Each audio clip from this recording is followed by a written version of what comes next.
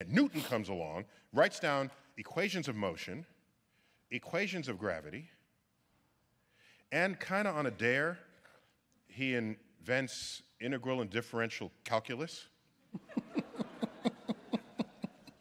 then he turned 26.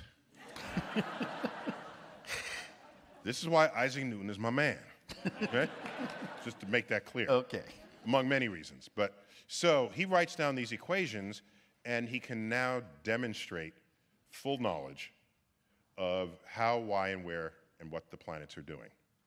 And so potent was his new theory of gravity that it worked for moons of Jupiter orbiting Jupiter, not just planets orbiting the sun.